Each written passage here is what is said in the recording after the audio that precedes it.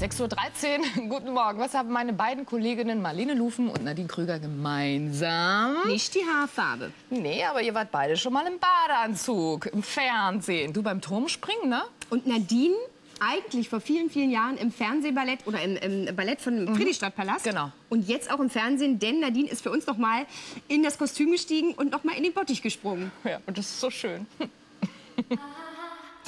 Nadine im Wasser und in der Luft. Nadine, wie sie die Welt noch nicht gesehen hat. Doch eigentlich war das so ja gar nicht geplant. Tatort Berlin, Friedrichstadtpalast. Bum, bum, bum, bum, mein Herz klopft. Hier habe ich, da war ich ungefähr so groß, Synchronschwimmen betrieben in dem Bassin im Friedrichstadtpalast. Die proben ja gerade für eine neue Revue, für die Key-Revue jetzt im Herbst. Exklusivführung mit dem Intendanten.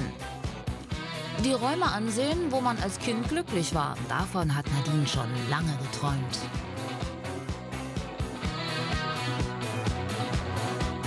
Nee.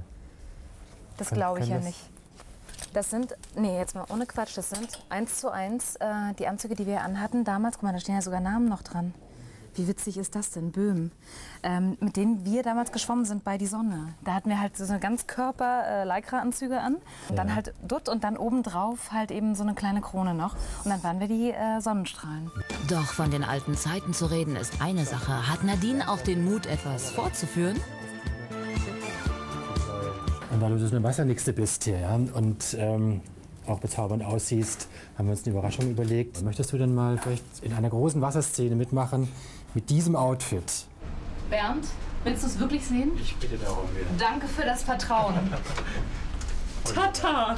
Ich, ich bin schwer begeistert. Ja, die Größe also, passt wie angegossen, würde ich ja. jetzt sagen. Aber ähm, ist gut, weil man kann schon so die Bauchmuskeln trainieren, weil man kann fast gar nicht mehr atmen. Schnelle Entscheidung. Nadine hat sich überreden lassen und will jetzt zeigen, was sie im Wasser drauf hat. Das ist ja das Wasserbecken, das kennst du. Ja, wir ja, sind ja immer unten eingestiegen und dann ist das Becken mit uns, so wie jetzt gerade eben, hochgefahren. Oh, was ist denn das Tolles in der Mitte? Ist ein Kronleuchter, das ja. ist Bestandteil der neuen Show. Und das ist der Kronleuchter. Der wird dann quasi aus dem Wasser gezogen durch ein toller Lichteffekt, wenn das ist super. Ja, und hier stand ich dann als kleiner Frosch, war immer so. Oder als Sonnenstrahl. Ja. Kurz vor der Wende als zwölfjähriges Mädchen hat Nadine hier im Berliner Friedrichstadtpalast mehr unter als über Wasser ihre ersten Erfolge gefeiert.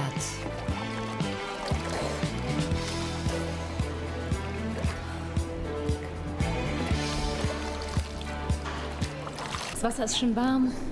Ich bin nicht auf den Boden aufgekommen.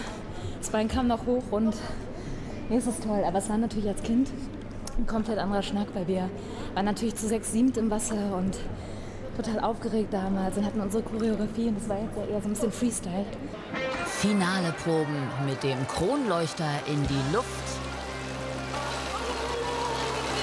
Für Nadine eine echte Mutprobe, denn was sie vorher nicht verraten hat, Nadine hat Höhenangst stoppen.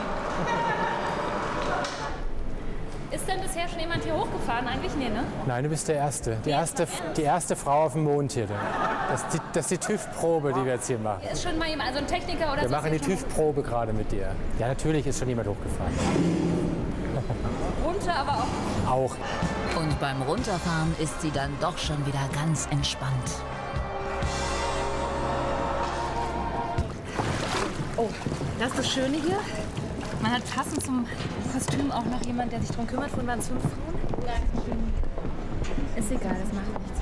Ich ziehe mich einfach hier vor Ort aus. Ja? ja Mach das Ganze dann nackt und äh, wir sehen uns dann beim Frühstücksfernsehen wieder. Wenn das mal kein Versprechen war.